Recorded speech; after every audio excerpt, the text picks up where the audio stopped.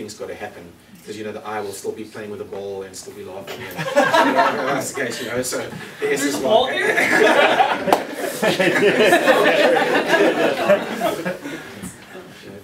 but but the, so the S's will typically st- be able to step up.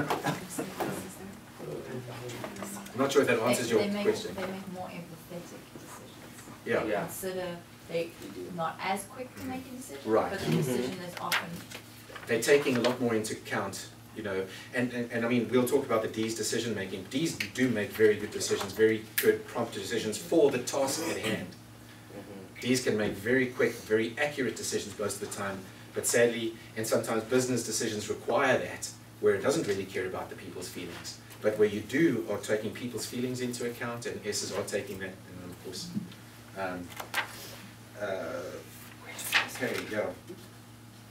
You see, they're dressed, they're more conservative in dress, manners, religion, politics, and business investments. They definitely lean towards the conservative side.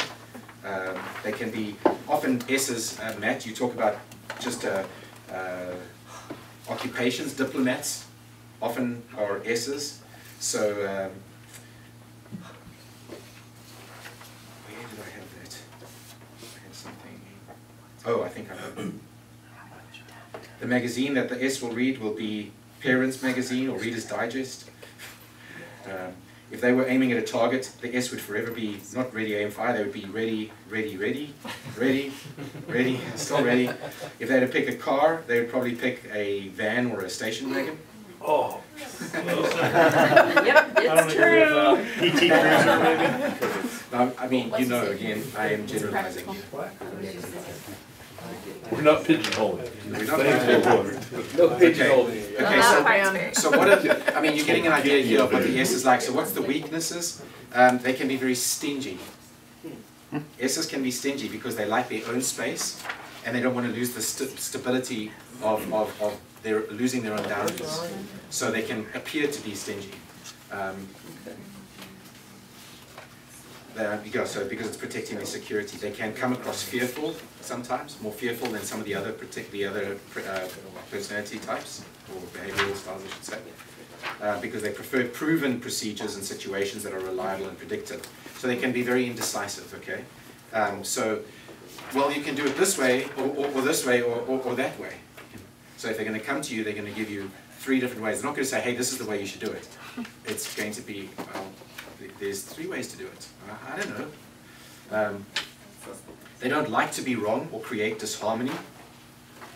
Uh, they'll often give you the, the answer that they think you want to hear. So S's have to be drawn out. If you want to get the honest opinion of a very high S, and, and you are married to a high S, Matt, you want to you want to draw out exactly what they really are, are feeling and what they mean by something. Because often they're just going to give you. If you come home in a in a grumpy mood and you say, man, oh, and, and you ask them a question, they're going to lean towards feeling like they want to give you the answer that you want to hear. So you, want- you to get the real, to get to the bottom of it, they may not even know what they're feeling. You've got to be very patient with an S, and you have to draw out. Then you're going to get to the bottom of the of an S's of, of what they really believe in. Um, Gary Chapman, uh, in you know, how many of you have read Five Languages of Love? Okay, Gary Chapman in the Five Languages of Love talks about a, a, a woman, and I think I read it last year. But um, you know, there's a story about you know, he says. Um, I, copied it down here. He says, uh, when a man came home, he, this, is, this is a story of a man who's learned to pull out his wife's S. Man comes home from his wife says to him, you sure look tired. He replies, are you saying that I look tired? He's asking the question back at her. She's saying, you look tired. So he says, you, you saying I look tired? He says, she said, I know, I don't know if it's you tired or I'm tired. So he asks, are you saying that you feel tired? She says, I don't know if I'm tired or whether I just feel cooped up in this house. We never go anywhere or do anything anymore. So he responds, well, are you feeling like you would like to get out of the house and go and do something? And, and, and she says, well, maybe if we can go out and eat something, I'd feel better, you know. So she says, are you saying you'd like to go out and eat? She says, well, I know our finances are tight. Uh, maybe if we just went out for dessert or something like that, I'd feel better. She said, so he says, are you saying you want to go out and get some dessert? She says, oh, could we do that? She said, so off they went, happy. See, so she didn't really know what she wanted. Yeah. Bad. I gotta keep the comments to myself. Uh, they can appear to be, another S word is spectators, they can appear to be spectators and not wanting to get um, involved, as I said, that could be, because of the, the whole conflict thing. Um, I know that that's definitely true in me. If I'm hearing a bunch of stuff, I don't have to say anything and I hear some strong opinions, unless I'm asked specifically. Otherwise, I'll just say, I'm gonna just keep quiet right here, because if I say anything right now, they may not want to hear it. I mean. Uh, um, they can be, they got a fear of humiliation, well, who doesn't, I suppose, but um, they don't want to disappoint you, I've said many times. They, they can be, have a, a lack of motivation. So the S's can be the people in your teams that are standing by waiting for instructions. You know, they don't know what to do. They just like, they're thinking they're not taking any initiative because they, because, but rather than doing something wrong, they just need direction. They don't want to upset the apple cart. I didn't want to touch anything. Maybe I'm not supposed to touch anything. I don't know what I should do. I, I don't want to get shouted at, kind of thing. Okay, so they make excellent diplomats because of their ability to see other people's perspective. Excellent school teachers, excellent technicians, nurses, accountants, uh, bank tellers, um, secretaries, people people. Um, um, they, they don't see people as interruptions, but they see people as their business. So um, they are typically another S, and S is the salt of the earth. So again, appreciation is the basic motivation. Security and assurance is what you can give them. Um, and S will, in, will thrive in environments of specialization or a group of people or um, an established work pattern that doesn't change. They like that, as I said, routine. And if they um, consistent, familiar environment, they respond better to a leader who is relaxed and amiable, um, who allows time for them to change plans, who serves as a friend, um, who allows people to work at their own pace, and defines clear goals for them. So if, if you don't define clear goals for an S, you get, you get, you'll get frustrated results. Tell them exactly what you expect of them. Um, S's need to learn something too, or like each one. Um, they, that change provides opportunity. They need to learn that change is necessary and that gives opportunity. That friendship isn't everything. There's more than just friendship. Discipline is good and it's all right to say no, and that being a servant doesn't make you a sucker. Mm-hmm. Okay, so that's pretty comprehensive. Any questions about the S? Touch on that? We're done? Okay, so who's the C's? I C's. Keep them up, I wanna write them down. Who's above the line? above the Who's, line? who's got an extremely, like, number one is high C? Warren, Jerry? You, yours is highest? Oh, you got a tie with S and C? With I and I, C. I and C, interesting. I see. You're, you're a high C? I don't- It's not my highest, but it's my second. Okay. Where is your C? Do you remember? It's above the line. I mean, how far is it Um, close it to was, your? it was pretty significantly higher. It was like seventy, eighty, somewhere in there. I think so, are there five of you? You're in that? Yeah. There's quite a bunch. JC's.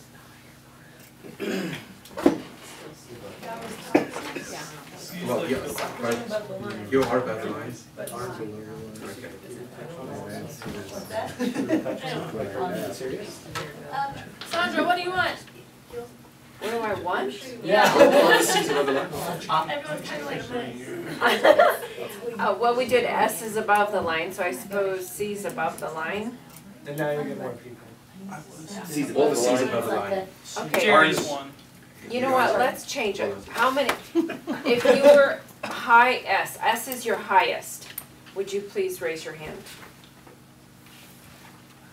Okay, can you read them to me? It's, You mean the people's name? Yeah, while I'm. Tori, Harley, okay, you got. Sarah. Sorry, Sarah, Harley, Chris, Sarah. I think that's. Oh, Shannon. David's a high Okay, and then if your highest is C. One, two, three, four.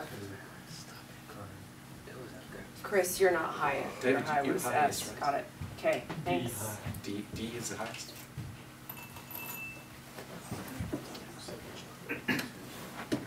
She's got you, Jerry. Gotcha, thank you. And Jerry. Great. Okay, so the C on the graph, I mean on this, on this uh, simple pie chart, is obviously the introvert, so, or the reserved task person. Yet remember that when, I'm, I've got some handouts that I'm gonna get to you, that I'm gonna give you uh, at the end of the class, and I'll just tell you a little bit about this handout. It's, um, it's a, it's a double page, it's, it's, it's called Keys in Adapt, Keys in Adapting um, Communication, and it's little things that we can, you can read through, um, read through it carefully. This is very easy to workshop if you're in an environment or with a team.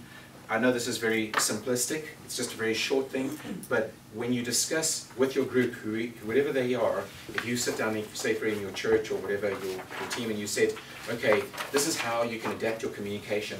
Um, because remember, because you're, the tendency, just like in five languages of love, is the way to communicate you like to be communicated to. So if you're a C, like my wife Karen is, she likes to, she loves details, and details are super important to her. So because she communicates with other people, she thinks her tendency, her natural tendency would be to think that everybody wants as much details as she wants. Mm-hmm. Well, that's not necessarily true. Oh, it's flat out not.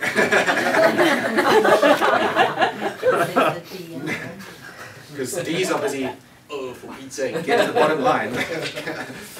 Okay, so, but this, this helps you, it's because when you, when it says what, when you're talking to a high C, when you're communicating with a high C, bear this in mind. When you're communicating with a high D or a high S or a high A, those are things to adapt your communication tool. So, okay, so that's what I'll, I'll give you one of these. I just don't want to give them to you now, otherwise you're gonna be reading this now rather than focusing on, on this other thing, because we've got different information. So let's just do the C. So, C's, I mean, isn't God amazing? Isn't, you know, to me, tell you what, if you've been a parent, and you've had more than one child, it's amazing that none, no two children are alike. They can be raised in the same home with the same value system. If they were twins, they can be treated the same way. They will have a different personality or a different behavioral style. To me, isn't that proof that God is, is God? I mean, isn't it amazing that there hasn't been a generation where, you know, all the children were S's? Can you imagine? Or all the children were D's, or all the children were I's. Can you imagine? Would, there's just not been that. It really is an amazing thing. So everyone has got their strengths and weaknesses. Now, C's are task and reserve people. They are um, 20 to 25 percent of the, of the world's population. So a fifth to a quarter of them are C's. And uh, so C words are cautious, competent, calculating, concerned, careful, and contemplative. And their thought pattern is why. They are asking the why question. Why? Why are we doing this? Why are we doing it this way? Uh, what, what are we, why are we working on this job? Why was I assigned this task? Why am I sitting in this class right now? You know, whatever it is. Why? They, they want why. So, so their basic need, yes. Can I ask a question, those of you who this pertains to? If you get the why answer, is that satisfactory? Does that make you feel good and then you, you don't need other questions answered? Like for a project, I give you the why, you go, okay, sweet, and then you're good to go? As long as I agree with that. Yes. So I- I'm about, I'm, I'm about to get to this next one. Okay. Their basic need, you know, what, what was the S's basic need? Uh, Appreciation. Appreciation. The, the, the C's basic need is quality answers. Yes. Quality answer.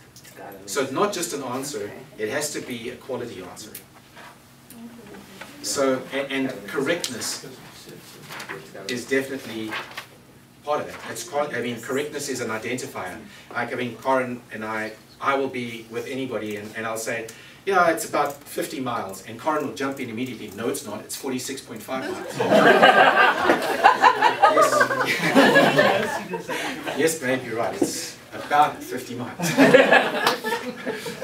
thought I said about, but never mind. But you're keeping status quo, yes. Way to go, man. But Karen will be right. It will be 46.5 miles in there. So she, so they, they are they're extremely competent individuals.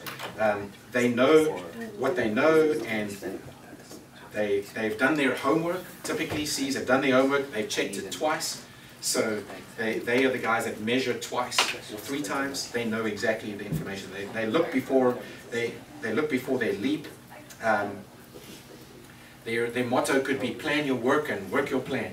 You know, they are definitely the plan. So they, they are fairly cautious.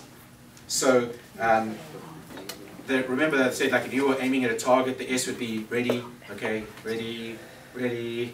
Well, theirs would be ready, aim, aim, aim, because they got to be hit, they got to hit that spot exactly. They do not like making mistakes. Do not like so definitely. They are very careful. They'll they'll make a photocopy of a page and then look at it and see, hmm, what if there's any differences here? You know, they, you know, they are, they are going to, they're going to They'll proofread a photo. Pretty much. I am exaggerating a little bit. Yeah. Um, so they're calculating, and the other C word is calculating, I said. Um, they do think in terms of the bottom line. Um, they're known for their ability to use critical thinking. C's very good at critical thinking. Um, they can analyze a situation probably better than any of the other person. They, if they want an, an analysis of something, you'll see. I mean, so you can imagine immediately what comes to mind, like a CPA, an accountant, anybody that's going to use scientists, NASA, astronomers, you know, all those kind of be precise. A lot of precise work. Researchers, all going to be in this category for sure. They are going to be the research and developers because they are going to get it right. They're going to analyze. They're going to be checking it out. So um, uh, because because they really see and understand situations, they they are often and they have an almost uncanny ability to see behind things because they understand what's really going on. So um, they also they very much demand compliance, just like I an example I gave you. It's like no no, it's forty six point five. You've got to get it right. Don't say that again. You know, it's they compliance. They follow uh, they follow instructions to the letter, and they can't understand what others don't. Why are you know? So they very much read the instructions, do it exactly like the instructions say. so um, they. Um, uh, I'm going to go here. Conscientious, another good C word, very conscientious. They will stay on task uh, long after people have other people have given up. They love jigsaw puzzles, crosswords, brain teasers. Um, life is precious to them. They love details. You get into a talk, as I mentioned, the details. Um, they like intimate details. I mean, Karen knows everything about all of you people here because she's probably been onto Facebook and she knows. You thought I was training because last night. Um,